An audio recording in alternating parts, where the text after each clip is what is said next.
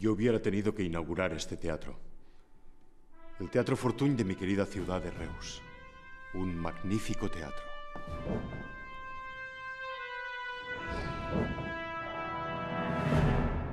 Quizás incluso hubiera convencido al rey para que viniese al acto solemne de su inauguración.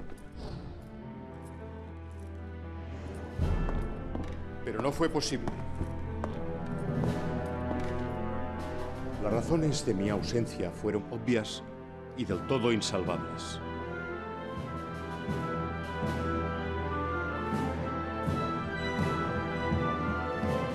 Soy el general Prim y esta es mi historia.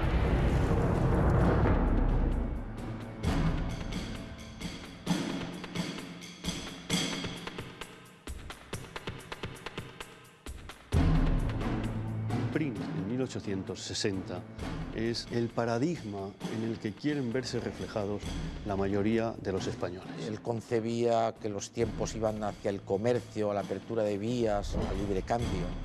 Su ascenso fue meteórico. En poco tiempo pasó de simple cadete a llegar a general. Pudo ser presidente de una república. Tiene claro esa ambición de líder, de llegar al máximo nivel político. Pudo haber sido rey de España.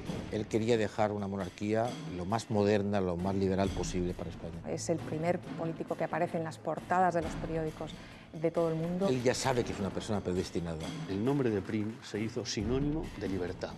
Quiso acabar con la monarquía absolutista y instaurar una monarquía parlamentaria.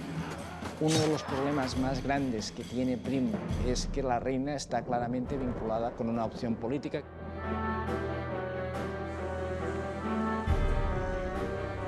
Pero la conspiración es el recurso de emergencia frente a la tiranía. Prim ve que con los Borbones no hay nada que hacer. Lo consiguió. ¿Qué pasa? Que no se lo perdonaron. La única solución posible es matarlo.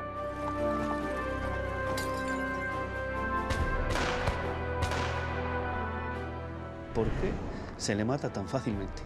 ¿A quién benefició el crimen?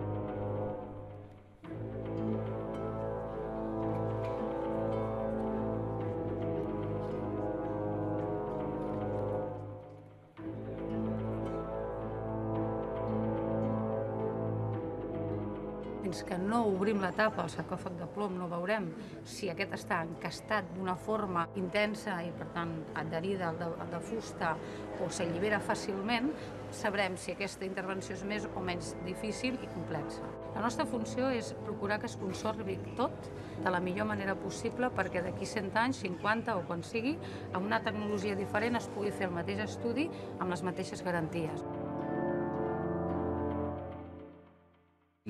Parece, con el primer examen muy superficial, que está bastante bien conservado y que vamos a poder obtener bastante información del mismo, pero hasta que no consigamos separarlo de, todos los envoltorios, incluso de la ropa, eh, va a ser complicado poder, poder afirmarlo, pero sí que parece que nos va a dar bastante información.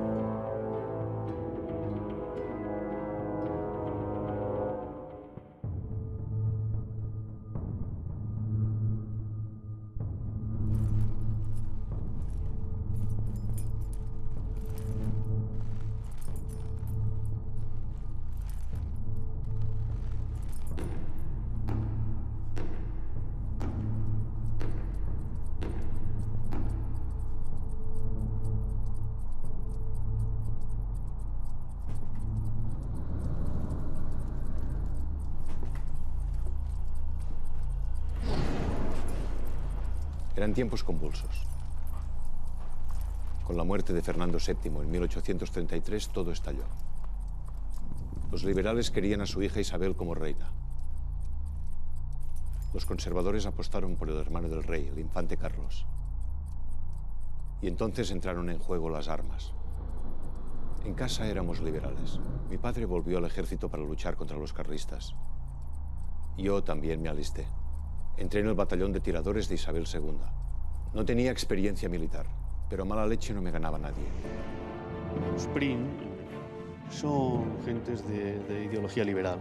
Entonces, en ese conflicto civil, pues lógicamente toma el partido que sigue su padre y que sigue la ideología familiar.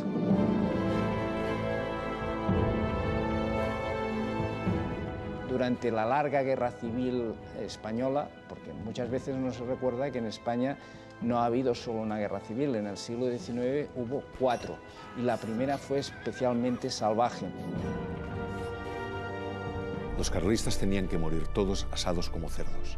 Tampoco debemos de olvidar que es una forma de hacer carrera para un señor que ha estudiado poco, porque esa es la circunstancia de, de Juan que ha hecho su escuela básica y, y poco más, y, y, que llega a una adolescencia y primera juventud en la que tiene que optar por buscarse la vida a partir de una familia de clase, hombre, media, pero media baja si queremos.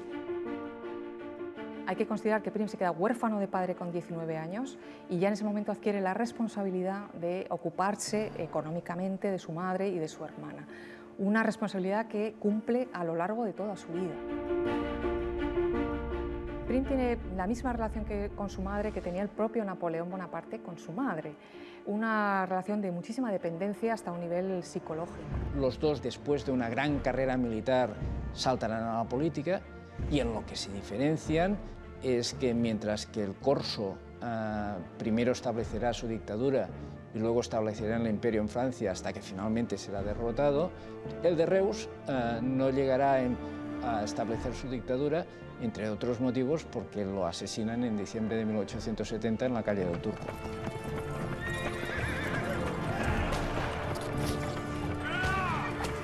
En el campo de batalla solo sobreviven los que saben lo que tienen que hacer. Va a participar en más de 30 combates, en diversas escaramuzas, encuentros, va a recibir nueve heridas. Es un hombre que, diríamos, está en la guerra, vive la guerra, se distingue en la guerra por un valor personal fuera de toda duda. Si hubiera tenido miedo, no habría luchado para conquistar Mayor. Ni habría escalado el fuerte de Solsona para abrir sus puertas. Ni me habría arriesgado como lo hice en el sitio de Ángel o no habría vuelto a luchar cada vez que me hirieron. Ni habría llegado a ser teniente coronel del ejército con 26 años. Prim se guiaba siempre por el sentido del deber, que es una cosa que le marcará durante toda su vida.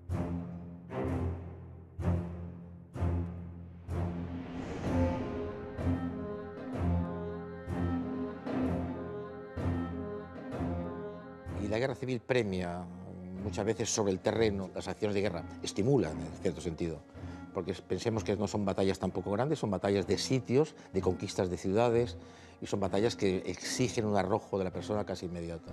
Sí. Estas manos han matado. Cuando luchas cuerpo a cuerpo no puedes dudar. O eres tú o es él. Tener a Prim como jefe militar era peligroso porque él no dudaba en poner en peligro su vida y por tanto tampoco dudaba en poner en peligro la vida de los demás.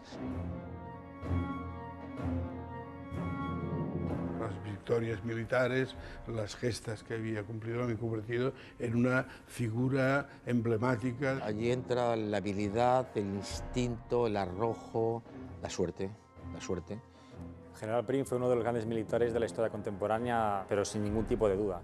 Encontramos una persona no de éxitos lineales, sino de éxitos, fracasos, éxitos, pero de cada fracaso sale fortalecido. Eso le granjea una popularidad que ya desde ese momento, desde la, primer, la primera guerra carlista, hace de Prim un personaje popular en Cataluña.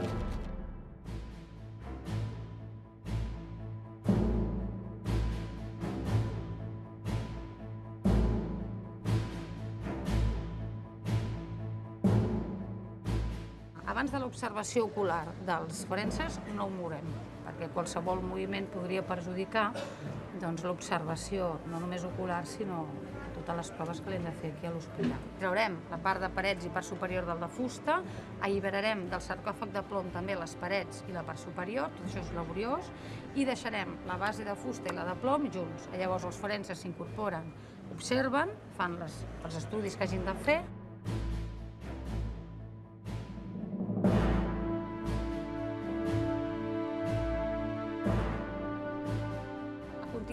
nosaltres retirem el cos de la base de plom perquè no pot anar a raig si hi ha una base de plom, perquè ocultaria la informació. Això ho farem amb ells, garantint que no es mogui res, però ja hauran fet una primera observació ocular i a posteriori, amb totes les proves de raig de resonàncies, d'escàners, podran observar si a dintre hi ha doncs, bales, això ja us ho explicaran ells. La part forense, anatòmica forense, el que intenta és conèixer quin impacte va tenir realment l'atemptat en el moment en què es va produir per poder concloure si va morir a l'instant o no, o va durar tres dies.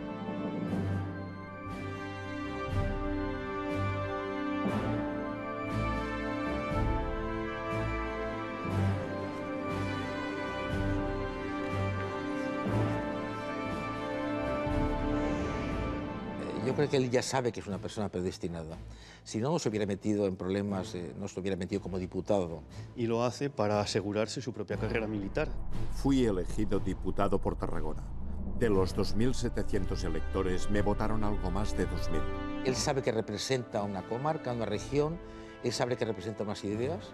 Prim es básicamente militar, pero es un militar que hace política, porque en el siglo XIX español los principales líderes militares son también líderes políticos. Soberanía e independencia nacional, progreso en el sistema constitucional, defensa de la industria española, abolición del diezmo de señoríos feudales, reformas administrativas, ampliación de la ley electoral. Este era el programa progresista de aquellas elecciones de 1841. En cuanto se traslada a Madrid el año 41 como parlamentario, va a ser un personaje en la corte. Un personaje en la corte muy conocido, al que le gusta ver y, de acuerdo con la escenografía romántica, le gusta que le vean también. Sinceramente, Madrid me decepcionó. No vi nada que me llamara la atención. Los teatros, los cafés, incluso los prostíbulos eran peores que los que teníamos en Barcelona.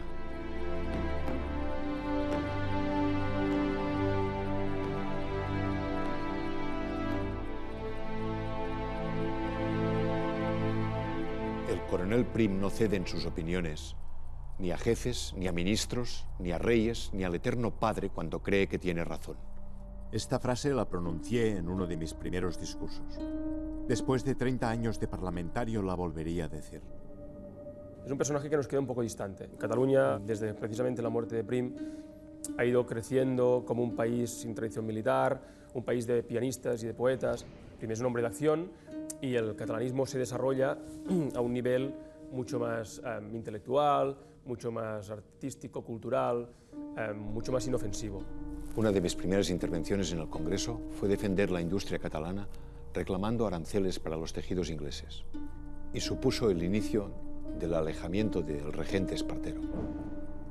La ruptura con Espartero se produjo cuando ordenó el bombardeo de Barcelona que se había convertido en uno de los focos de oposición a su regencia. Con estas palabras lo dejé dicho en el Congreso. Al pueblo catalán no se le ha de mandar a palos. Se le manda con la ley, pero nunca como mandan los bajás a sus esclavos. Finalmente, Espartero fue depuesto. En Barcelona los ánimos seguían muy encendidos. La revuelta de la Jamancia estaba más viva que nunca. Fui nombrado gobernador civil por el nuevo gobierno con el encargo de acabar con la rebelión. Me acusaban de buscar un nuevo ascenso al precio que fuera. Yo repliqué apostando mi propia vida. O caja o faja. que quiere decir o el fajín de general o la caja, el ataúd.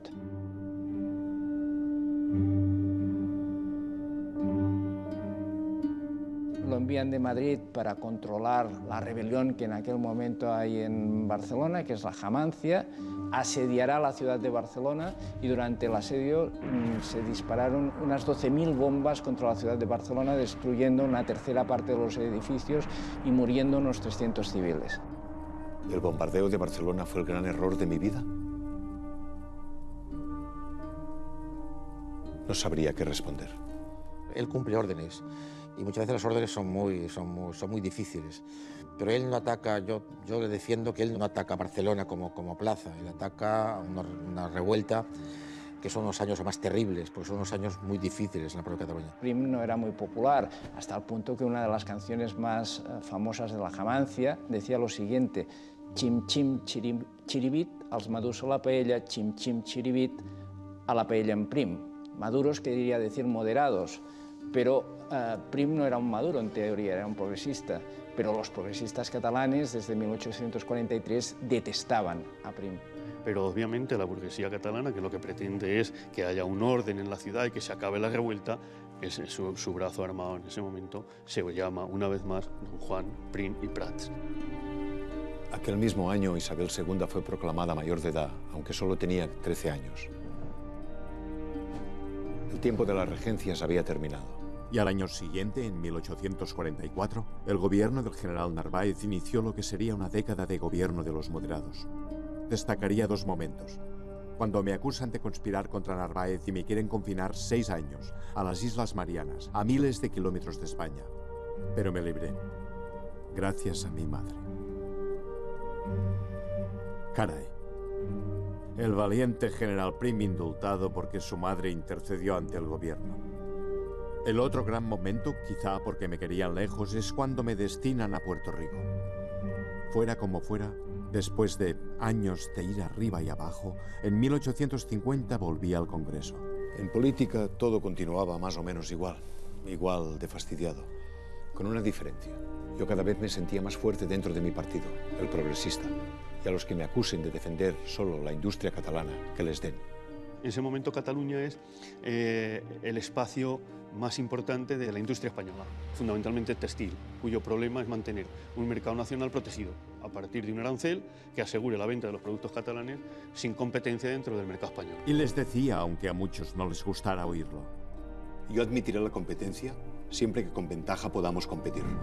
En aquel momento intentar eh, modernizar España era un poco mm, meter eh, la Cataluña, que ya se había desarrollado de una forma importante, que ya había importado la, revolución industrial y la ilustración, que habían penetrado profundamente en Cataluña, mientras que la, oligarquía española de la, de la, época quería impedirlo como fuera y él eh, efectivamente consiguió eh, plantearlo desde esta perspectiva. En el fondo era un heredero de la Revolución Francesa.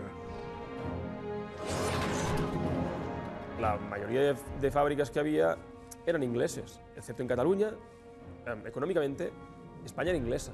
Él ya intuye que hay una Barcelona que tiene un porvenir enorme, se ha liberalizado el comercio con América y el PRIN que estimula y está muy cercano a sectores comerciales e industriales de Barcelona, desencorseta, abre. Era inadmisible que Cataluña llevara ocho años viviendo en estado de sitio, ocupada militarmente como si fuera un país de salvajes. No me mordió la lengua, caray. Por supuesto que no. Los catalanes son o no son españoles. Pues devolvedles las garantías que les habéis arrebatado. Si no los queréis, dejadlos que para nada os necesitan.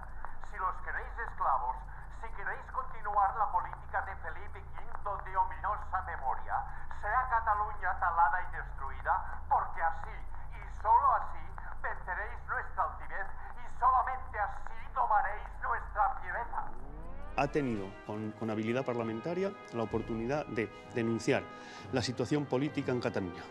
Y esa situación política está que desde el año 43 al año 51, la mayor parte del tiempo, Cataluña ha vivido bajo un estado de excepción. Para mí, Prim, como progresista, quería que los catalanes fuesen españoles como el resto de los españoles, eh, con las mismas libertades y los mismos derechos que el resto de los españoles. Y alguien podría decir que no los tenían. No, porque normalmente en Cataluña regía el estado de excepción. Prim es, hijo de la Cataluña de la Guerra de Sucesión, que es una Cataluña derrotada, una Cataluña que en la época de Prim empieza a despertarse, pertenece a una generación que, intenta recuperar la España perdida en 1714. Mis palabras levantaron una gran polvareda. ¿Pero qué esperaban? Los catalanes no somos perros que lamemos la mano de quien nos castiga, sino tigres que destrozan a quien los maltrata. Pero ojo, del año 43 al año 51 son gobiernos moderados. Y el ataque contra el gobierno no es el ataque contra España, es el ataque contra el gobierno moderado.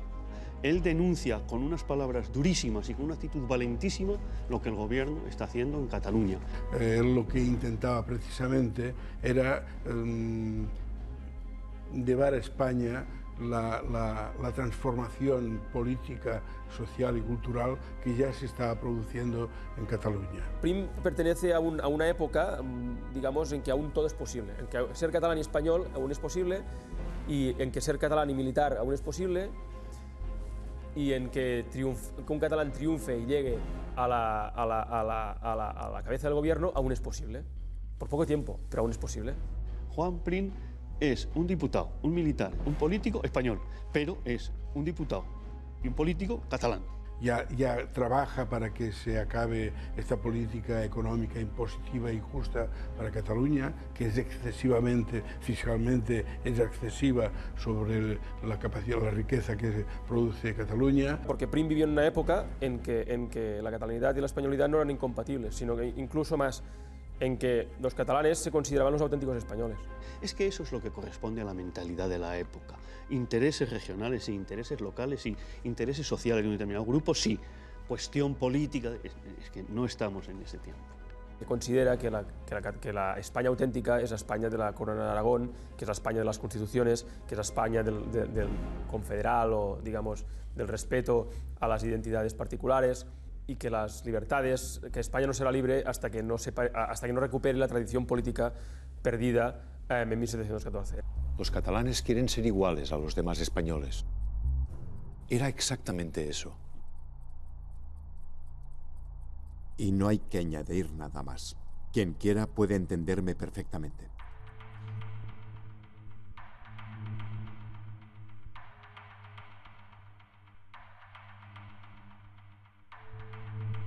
Vamos a realizar una serie de estudios eh, sobre la momia del general Prim. De manera inicial van a ser estudios de imagen, vamos a realizar una radiografía completa buscando las posibles proyectiles, las posibles postas de los hechos si es que alguna no fue extraída en su momento y vamos a hacer un TAC completo, un TAC a todos los niveles para tener cortes de todo el cuerpo que poder examinar en negatoscopio y analizar eh, pormenorizadamente por todo el equipo de médicos forenses.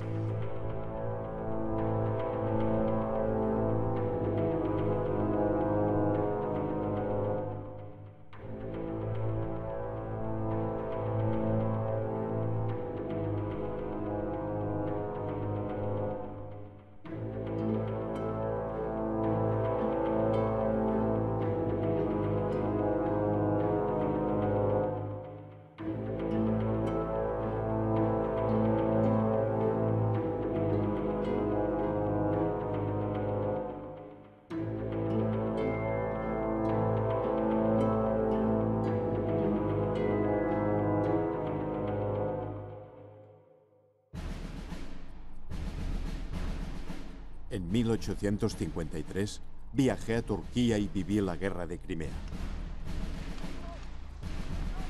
Fue una experiencia brutal, el descubrimiento de una nueva forma de hacer la guerra.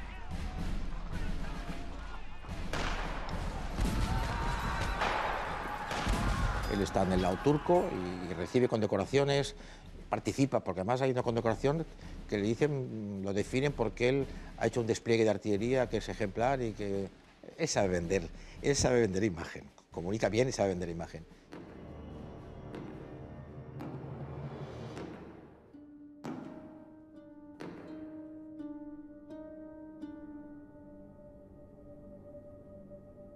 Prim tiene una unión sentimental muy curiosa con su madre. Prim escribe a su madre desde todos los puntos geográficos del mundo en el cual está. Es un gran militar en destinos militares de muchísima importancia, pero a su madre se dirige con una candidez y un, sentimiento infantil que es realmente sorprendente en un, hombre de esa categoría militar. La madre de Prim es una mujer de Reus, eh, hija de drogueros de Reus, y, y, Prim procura que su madre no salga de ese ámbito catalán, es decir, no la trae nunca a Madrid, de hecho impide que la madre vaya a, asistir a la boda en París, Prim se casa en París por todo lo alto, en la iglesia de la Madeleine, con asistencia de personajes de altísimo eh, nivel social.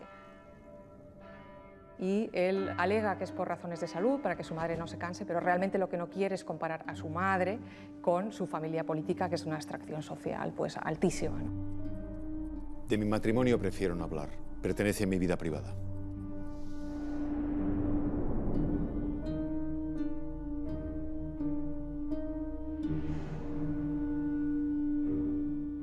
Prim conoce a Pac Agüero en el París fastuoso de la corte de Napoleón III y Eugenia de Montijo y realmente la parte económica para él es muy importante. De hecho, cuando Prim anuncia a su madre en una de las cartas que se va a casar con Paca, la describe, eh, que es una carta muy curiosa en la que dice Paca es muy bonita, tiene 22 años, es modesta, bien educada, me quiere con todo su corazón, dice, y además tiene más de un millón de duros.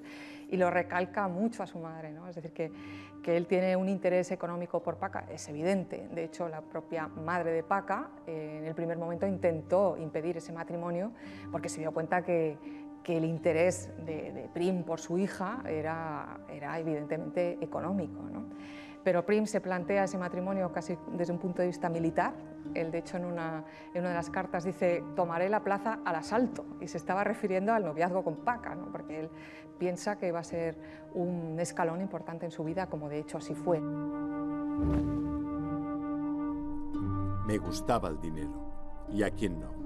Quería vivir bien y gastaba lo que tenía y a veces lo que no tenía. Gastó la dote de Paca inmediatamente en malísimas inversiones financieras, perdió muchísimo dinero en bolsa. Con el dinero de Paca eh, se planta en un, una vida de un nivel social mm, importante, con todo tipo de lujos. Compra campo, compra esa gran finca que tiene de, de caza en Toledo y que le permite pues, situarse al nivel de la, gran, de la alta sociedad de, de la corte. ¿no? Decir, que el matrimonio de Paca, sin duda, es muy importante en el ascenso político, incluso militar y social de Prim. He dicho que no quiero hablar de mi vida privada.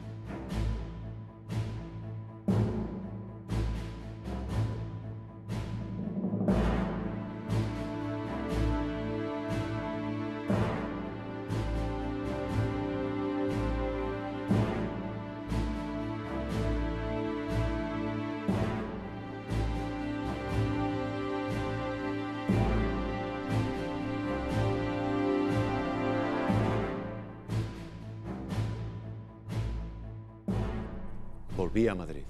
Espartero, O'Donnell y el conservador Narváez se alternan en el poder.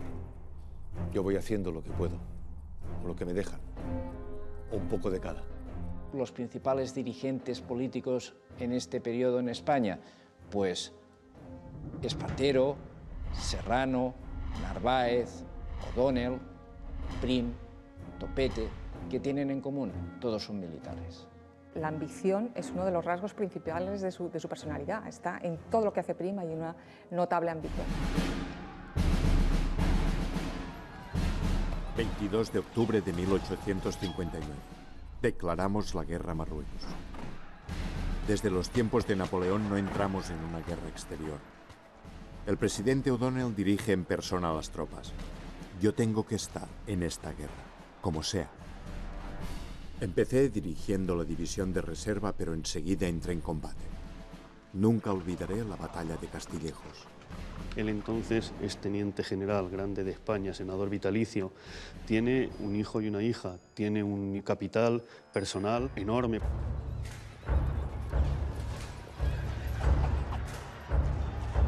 Tiene 46 años toma la bandera y va delante de los soldados del Córdoba y los arrastra detrás de la combate.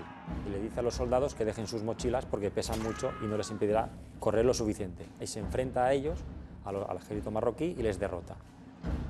Poco después llegaron los voluntarios catalanes. Verlos allí fue para mí una alegría inmensa. Compatriotas comprometidos y valientes.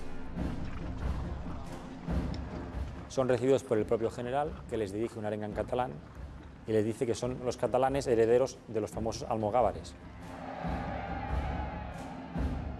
Esa misma noche, los voluntarios se dirigen a hablar al general y les dicen que no tiene tiendas donde poder dormir.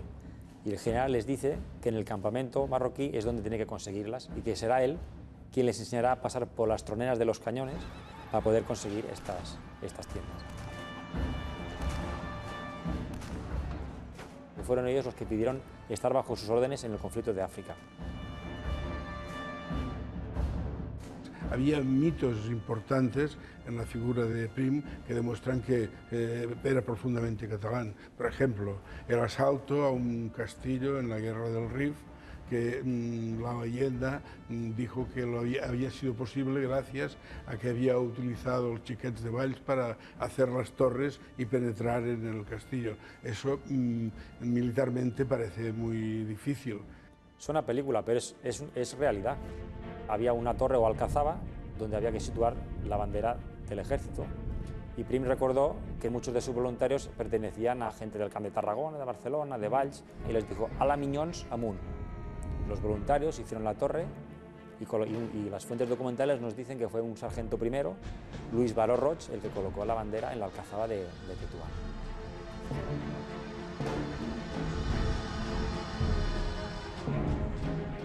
Y la gente que está con él valoran claramente, pues no es un general de retaguardia ni de, ni de estados mayores atrasados, es un general de arrastre, de bandera adelante, de caballo, de movimiento, de mirar a sus soldados a la cara. Tienen multitud de bajas, pero consiguen uh, grandes éxitos militares en Tetuán y en Guadras y consigue ser un héroe tanto en España como también en Cataluña y estos soldados que quedan voluntarios y quedan con él, bueno, le adorarán hasta su muerte. Mantenían el vestuario, las mochilas, las cantimploras como casi como un objeto de culto. En su vuelta a casa, en todas las ciudades que pararon, Alicante, Valencia, Barcelona, Tortosa, Tarragona, el mismo Reus, fueron recibidos como verdaderos héroes. Pero la entrada que tienen esas fuerzas en Madrid y la de Prim concretamente en Cataluña y en Valencia eh, es, es, el mito, es el mito. Prim llega al mito porque tiene algo muy difícil que es el carisma del líder, que lo hace incluso comparable a otros grandes personajes de la historia internacional. ¿no? Prim está al nivel de, de, un Napoleón, de un Lincoln, tiene esa firmeza que tiene el líder de saber llevar sus ideales hasta el final de su vida. En 1860 es el paradigma en el que quieren verse reflejados la mayoría de los españoles.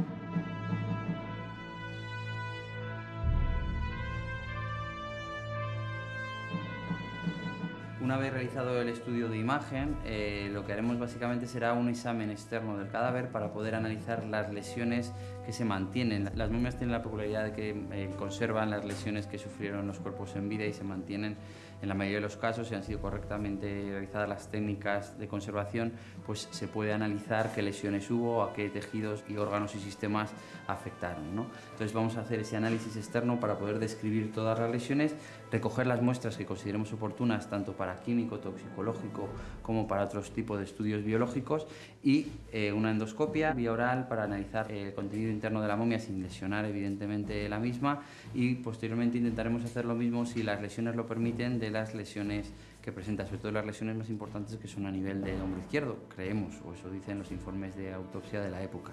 Una vez analizado el examen externo, que veamos qué lesiones tiene, si nos lo permiten, introduciremos una cámara a través de las mismas para poder ver y analizar qué lesiones reales se produjeron.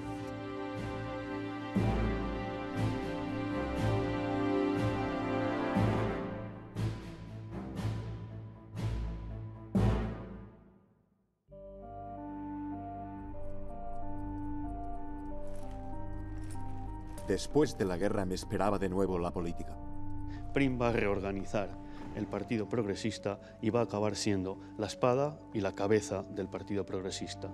¿Y qué quiere decir esto del periodo de los espadones? Que en España hay constituciones, hay un régimen liberal, parlamentario, pero la realidad es que el sufragio es censitario, votan muy pocos, pero si uno mira las elecciones, lo que verá es que el gobierno siempre gana las elecciones. Por tanto, uno se puede preguntar, ¿y entonces cómo se hacía el cambio político real? Se hacía a través de pronunciamientos. ¿Y qué eran los pronunciamientos? Golpes de Estado. ¿Y quién hacía estos golpes de Estado? Básicamente militares. Se trataba no de catalanizar España, sino de poner España en las corrientes que se producían en Europa, crear una sociedad moderna, avanzada.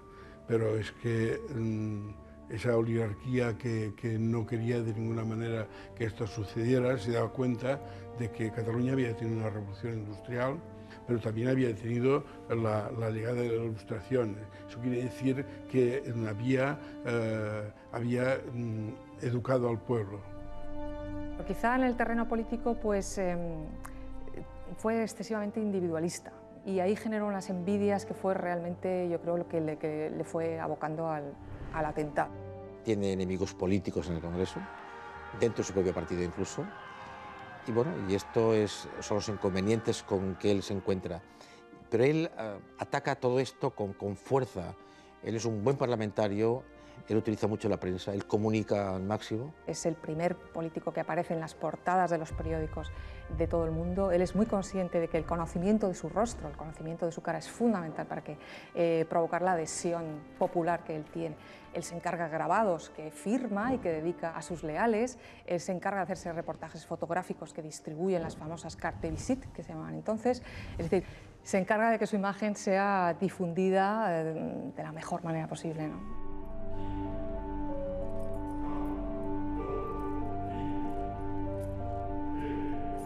Y hay un prim sensato que estudia, analiza otras constituciones, analiza otros gobiernos, conoce, viaja. Prim tiene idiomas de aquel entonces. Ha viajado bien por el exilio en viajes oficiales, por Francia, por Alemania, por Bélgica, por Portugal, por Estados Unidos, por México, por Crimea. Entonces es un hombre que, va acumulando experiencias y las transmite hasta ser, en mi opinión, un magnífico hombre de Estado. El primer esbozo del, del PRIM estadista lo marco siempre claramente en México. Y es cuando él dice, yo no impondré a los mexicanos una monarquía que no conocen ni quieren por, por la fuerza de las bayonetas. En México me lo jugué todo a una carta. Francia quería entrar en guerra y acabar con aquella república, y Gran Bretaña, en cambio, apostaba por negociar. Yo me sumé a los que no querían la guerra. Es el hombre que manda la fuerza militar y el que tiene que decidir en última instancia qué se hace. Y en ambos casos decide perfectamente. No quiere embarcarse en otras aventuras. Tiene cientos de bajas en las tropas por enfermedad y está deseoso de salir de aquel atolladero y sale y sale arrostrando la enemistad de Serrano, capitán general de Cuba, y el resquemor del gobierno O'Donnell, porque la expedición a México se había visto por algunos sectores españoles como otra vez la reconquista de México. Le acusan, y, Serrano es el primero, de haberse bajado los pantalones, es decir, que tú no has impuesto lo que queríamos nosotros, de dominar... Y ahí aparece el hombre, una, consecuente con un tratado internacional y respetuoso con el tratado internacional. Y segunda, consecuente como liberal en no imponer un régimen monárquico. Él dice muchas veces, los mexicanos no tienen más referencias que la decadencia, la monarquía decadente española, pero tienen al norte una república floreciente que son Estados Unidos. Y están más cercanos a ser una república como Estados Unidos que ser una monarquía anticuada como la nuestra. En lugar de volver enseguida a España, decidí alargar el viaje. Puse rumbo a los Estados Unidos, Allí tuve el honor de ser recibido por su presidente, Abraham Lincoln. Él en Estados Unidos conoce el nuevo ejército que salen de la guerra de secesión y él va conociendo un ejército que se va formando nuevo. Él visitó a Abraham Lincoln y vio cómo era Estados Unidos en aquel momento y ya tuvo la, la visión de que sería la primera potencia.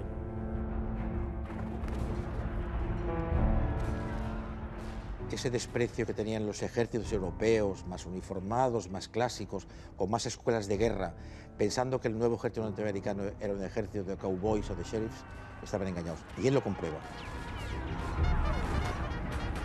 Nosotros íbamos con barcos de vapor y los americanos iban con barcos de hierro, o sea, de, de acero. Era un hombre avanzado a su época, yo creo que demasiado. Tarda en venir a España y tiene que luego defenderse en el Senado en, en, unos, en unos, días de declaraciones que son, que son impresionantes porque prepara muy bien lo que tiene que decir el Senado y aparece el primer el liberal. Como militar tenía mucha fama, incluso en Europa. Como político cada vez tenía más influencia. Él concebía los países americanos que quedaban con España para formar parte de una especie de Commonwealth. No lo concebía como la madre patria que los tiene allí él concebía que los tiempos iban hacia el comercio, a la apertura de vías, al libre cambio. Y claro, la muerte suya representa indiscutiblemente el fracaso de esta idea y una especie de retroceso, hay que volver a andar después. Desde el momento en el que entramos en el quirófano y vimos que el cuerpo no estaba autopsiado, pues eh, decidimos eh, dejar a un lado todo lo que sabíamos de, de toda la documentación que habíamos estudiado y estudiar este cuerpo como si fuese un cuerpo anónimo. El examen externo lo hacemos, y lo hacemos ya digo con mucho detalle, se graba, se hacen fotos, las lesiones en el hombro, en el codo izquierdo y en la muñeca y en la mano derecha. Encontramos una serie de lesiones por arma de fuego. Eh, entre ellas tenemos eh, esta lesión, una lesión en el hombro, medía 3 centímetros y medio por 2 y medio aproximadamente, que se corresponde con una lesión por, eh, por, varios proyectiles. Luego tenía en el, codo, en el codo izquierdo una lesión con orificio de entrada y de, y de salida. El informe de autopsia dice que había compromiso óseo, es decir, la cabeza del radio, que es el hueso del codo, había un, un, hueso que estaba fracturado y no es así. Se comprobó radiológicamente que el hueso estaba, estaba bien. En la mano derecha presenta tres lesiones. Tiene una amputación traumática del dedo anular. En la palma de la mano un orificio de entrada con orificio de salida en el dorso de la mano que afecta al segundo y tercer metatarsianos y que tampoco está tratado quirúrgicamente. El examen interno no podemos hacer porque estamos hablando de una momia y no podríamos hacer una incisión a nivel torácico y abdominal para abrir porque destruiríamos y es un bien que, que hay que proteger y que no se podía dañar. Entonces la posibilidad de hacer una exploración interna era con pruebas complementarias de otro tipo y así se hizo radiografía y el TAC. ¿no? Realizamos el estudio y lo hacemos en completamente. Las hipótesis que nos planteamos una vez obtenidos estos datos eh, son cuatro. Primero está la versión oficial que es el, shock séptico. Es en principio la hipótesis que debemos demostrar o, contradecir ¿no? con pruebas suficientes. Eh, luego tenemos una serie de hipótesis alternativas, que son el shock traumático, el shock hemorrágico y por último eh, la posibilidad de, de, una asfixia, de una anoxia cerebral derivada de, de un posible estrangulamiento. Cuando continuamos estudiando el cuerpo nos encontramos algo con lo que sí que realmente no contábamos y eran unas marcas en el cuello que nos, nos sorprendieron mucho. Ante digamos, la insistencia de una de las personas en que esa podría ser eh, una alternativa posible. En ningún momento afirmamos que al general Prince le estrangulara, sino que presenta unos surcos que son compatibles desde el punto de vista médico-legal con este tipo de muerte pues nos planteamos que hay que realizar más pruebas complementarias para intentar descartar esa hipótesis y centrarnos en las otras o eh, aceptar esa hipótesis como la posible. Que el que no haya lesiones óseas o cartilaginosas en el cuello, cuando en, en el caso del general Prim, eh, no nos hace descartar que la, causa de la muerte pueda ser el estrangulamiento a lazo, porque en este tipo de, de, asfixia mecánica, el estrangulamiento a lazo, solamente aparecen, y en esto coinciden todos los autores, desde los más clásicos a los más modernos, en que solo aparecen como máximo en un 15-20% de los casos. Prim, como líder de los progresistas españoles, quiere gobernar y no está interesado en una revolución. En principio no quiere cambiar nada, ni tampoco la dinastía. Lo único que quiere es gobernar. Se entrevistó con la reina en varias ocasiones, que le prometió varias veces que le iba a llamar al gobierno. No llamó nunca a los progresistas al gobierno. Uno de los problemas más grandes que tiene Prim y los progresistas y toda la oposición para llegar al gobierno es que la reina está claramente vinculada con una, con una, opción política, que son los moderados, y por tanto, ante la resistencia de la reina a impedir que las opciones progresistas lleguen a reinar, Prim llega a la conclusión que los Borbones no son una buena dinastía para España. Pero la conspiración es el recurso de emergencia frente a la tiranía. En ese sentido lo entiende Prim. Totalmente degenerado el ejercicio electoral y burlada la Constitución, la salida era realmente buscar una alternativa vía conspiración. La revolución de 1868, la gloriosa, fue la buena. La crisis económica era terrible. Dijimos basta. Los Borbones no podían seguir siendo nuestros reyes.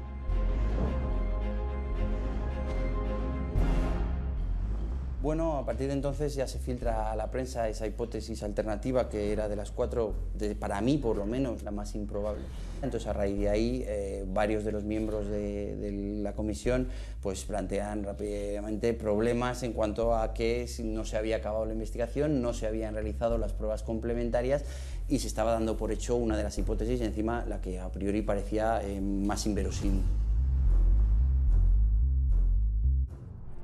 Después de la revolución, asumí el Ministerio de la Guerra en el gobierno que presidía Serrano. Y cuando meses después Serrano fue nombrado regente, yo me convertí en el presidente del gobierno español. El reto era enorme. Hacía falta una constitución nueva, hacía falta modernizar el país. Cuidar las relaciones con los otros estados. Y hacía falta, sobre todo, acertar en la búsqueda de un nuevo monarca. PRIM pretende modernizar España, lo necesita, y vuelca su experiencia a modernizarla. Y piensa en una dinastía moderna, piensa en un reglamento moderno como es la Constitución. Es la primera Constitución española, después de la de Cádiz, completamente liberal. Habla de cuatro millones de españoles censados que pueden votar. Y piensa en la economía, con la peseta, piensa en todos los aspectos que pueden pasar a España del siglo XIX a prepararla para el siglo XX. Hombre de Estado que busca, incluso para la elección de rey, busca qué rey puede ser mejor para España?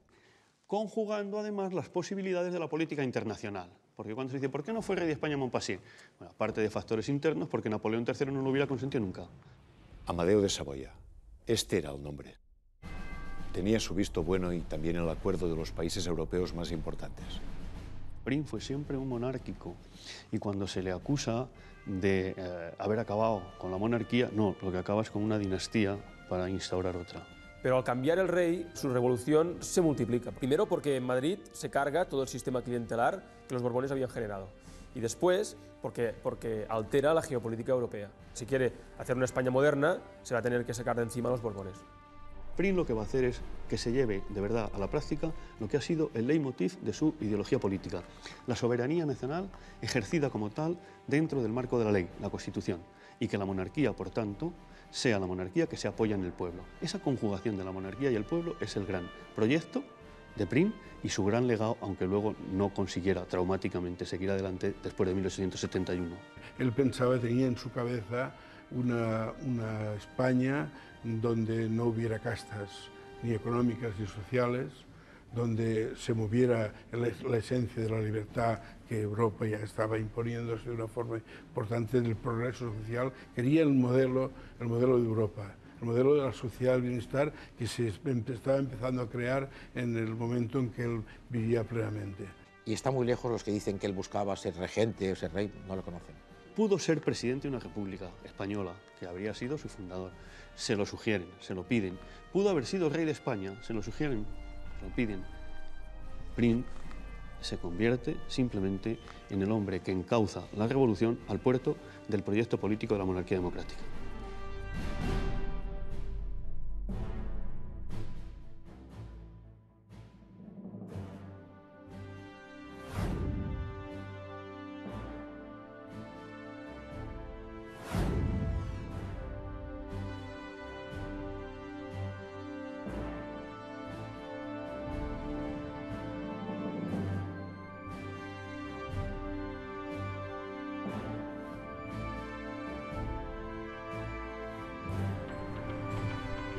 De la muerte no tiene nada que ver con las marcas que existen en el cuello de los restos modificados, que fue una de las hipótesis que se lanzó previamente. ¿Por qué lo sabemos? Porque este tipo de marcas, eh, tal y como están reflejadas en el, en el cuerpo, corresponde siempre a marcas post-mortem. Para que un estrangulamiento a lazo, por ejemplo con un cinturón, dejase unas marcas eh, de este tipo, eh, el cuerpo tendría que estar prácticamente suspendido o con, la, o con tensión en el lazo durante por lo menos un par de días. Sería completamente imposible.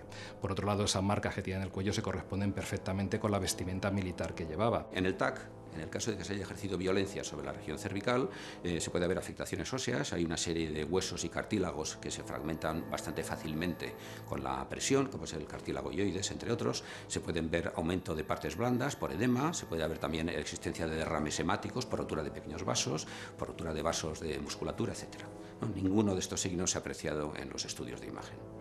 Por lo tanto, no hay absolutamente ningún signo que nos diga que la muerte del general Perín se debió a un estrangulamiento posiblemente en la actualidad hubiese podido sobrevivir a estas lesiones. Pero tenemos que tener en cuenta que estamos en la, era, en la época preantibiótica. Además parece que el general en el momento del atentado llevaba una pelliza de piel de oso y se cuenta que si se le extrajo material de la misma, entre que los proyectiles del disparo, pues lógicamente estaban en condiciones sépticas, además atravesaron ropas y además atravesaron la piel, que es un lugar donde hay habitualmente gérmenes, pues provocarían en una segunda instancia un cuadro infeccioso. Eso coincide con la versión histórica en la que yo como antropólogo ni entro ni salgo, pero está claro que si hay un proceso infeccioso que eh, empieza a raíz de, las heridas producidas eh, por el arma de fuego, tres días es un tiempo razonable para que haga crisis y el sujeto fallezca.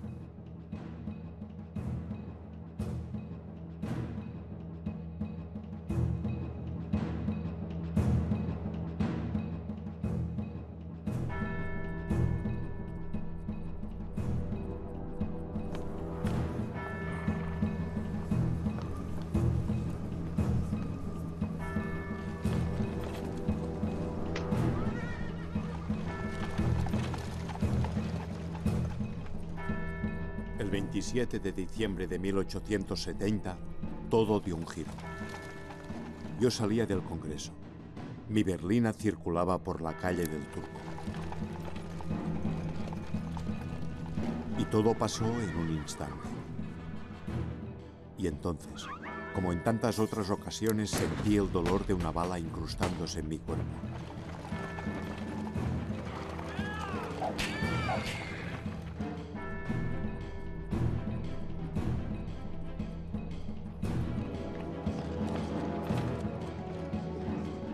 Cuando lo hieren en la calle del Turco, entra en el Palacio de Buenavista y prácticamente desprecia sus heridas, el hombre que había sido herido no sé cuántas veces. Dice que el mismo personaje, el- la misma leyenda, se enfrenta al- a su propia leyenda y a su propio personaje. Cuando Prim no muere en el, en el propio momento del atentado, debió cundir auténtico pavor entre los autores del, del atentado, ¿no? de pensar que ese Prim iba a ser capaz de reprimir eh, a, los, a los autores del asesinato. ¿Cuánta gente quería matarme? ¿A quién benefició su crimen? Los que no querían la instauración de una nueva monarquía o los que pretendían ocupar aquella monarquía, a los que él podía mm, suprimir la esclavitud en ciertos territorios americanos y perdían sus grandes ganancias, a los que él moderniza banca y peseta y les perjudica. Los republicanos, evidentemente. Los carlistas, evidentemente. Los monpensiaristas, evidentemente. Los hacendados cubanos, que el tema de Cuba era un- probablemente. Algún- Al final, son muchos los que estaban interesados en matar a Prim. Pues sí, Esos poderes fácticos que, que- restan en sociedades, que han, que han ostentado el poder durante años, claro, veían en Prim veían en Prim un peligro para, para- cambiar. El Prim censario que da cuatro millones de votos, pues los que votaban antes, que eran más pocos, pues ven que pierden poder. Pero la oligarquía no lo podía permitir. Los enemigos se multiplicaron, es cierto. Siempre supe que los tenía. Y que eran muchos, poderosos y peligrosos. Pero la cobardía jamás formó parte de mi vocabulario. Siempre defendí las ideas en las que creía.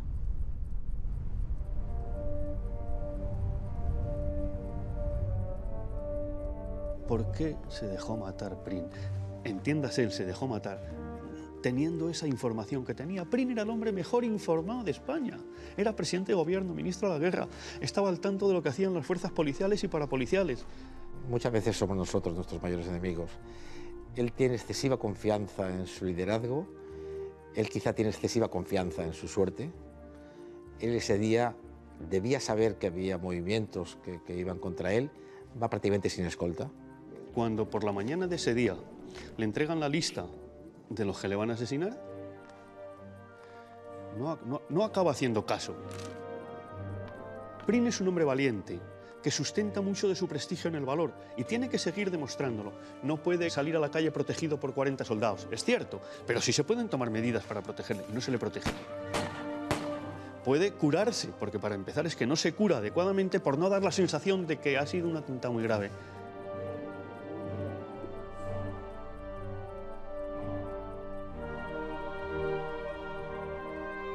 Del asesinato de Prince sabemos bastante más que de la mayor parte de los magnicidios de la España contemporánea. ¿Quién ordenó mi asesinato? Sabemos la inmensa mayoría de los que apretaron el gatillo. El nombre, quiénes eran, cómo les fue después, antes. ¿Fue realmente Paul Yangulo el que disparó? ¿Cuánta gente quería matarme? Sabemos la parte sustancial de la trama ¿no? que da paso al asesinato. Montpensier lo financió. Su ayudante Solís y Campuzano lo orquestó. ¿Serrano estaba implicado? Sabemos o tenemos por lo menos unas pruebas indiciarias suficientemente fuertes como para apuntar en un sentido de la autoría, hoy diríamos intelectual y financiación del atentado. ¿Hay algo más? ¿Hay alguno más? Seguramente. Pero ese, en 143 años, no hemos avanzado ni un milímetro. Y ahora ya sí que me temo que esa investigación es prácticamente imposible de hacer, salvo que la casualidad nos pusiera un día ante la confesión de un señor que in articulo mortis les legara a los hijos, ese tipo de cosas. Salvo eso, este legajo de la causa de Prim es un legajo que está hecho para que los investigadores no se enteren nunca de quién mató a Prim. Cuando pierdes la última batalla, Tienes que aceptar que para ti todo ha terminado, aunque la vida continúe. Solo te queda el consuelo de haber caído con honor, con la cabeza bien alta.